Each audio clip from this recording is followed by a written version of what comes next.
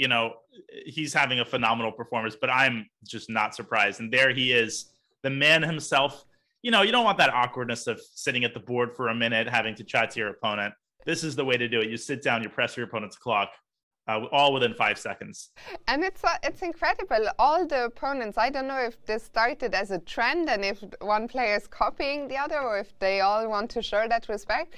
But every day, Magnus, or almost every day, it's been you know just that one minute late. But uh, the opponent have pretty much never uh, started the clock. But Magnus, he came, sat down, pressed the clock, and uh, Pragg has just made the move one d4 a terrible blunder here by by Praggnanandhaa. I think he can basically resign. I mean, this is this is a decisive mistake, Fiona. There is really nothing else to commentate.